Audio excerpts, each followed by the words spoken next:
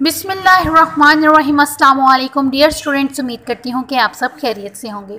और जो तलबा और तालबात अपने रिज़ल्ट का इंतज़ार कर रहे हैं, अल्लाह ताला उनको अच्छे नंबरों से, कामयाबी से हमकिनार करें।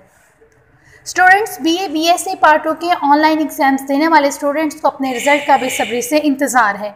और अब ये उम्मीद की जाती है कि इंतज़ार की घड़ियाँ जो हैं वो ख़त्म होने वाली है।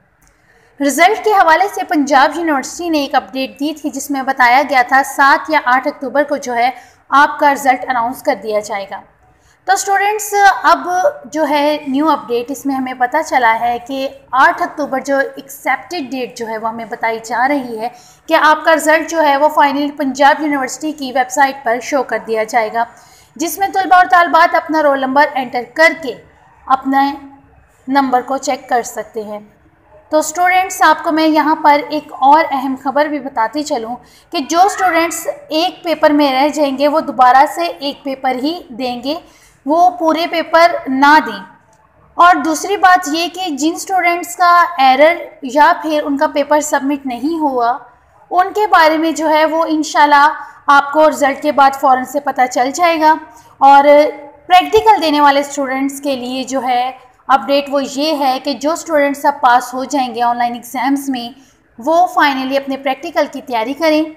इनकी जो प्रैक्टिकल की डेट है वो अक्टूबर के लास्ट में है। यानी कि आपका प्रैक्टिकल अक्टूबर को लास्ट में जो है वो देना होगा और इसकी जो है आपको तैयारी करनी होगी। लेकिन ये वही स्टूडेंट्स दे सकेंगे जो पास होंगे।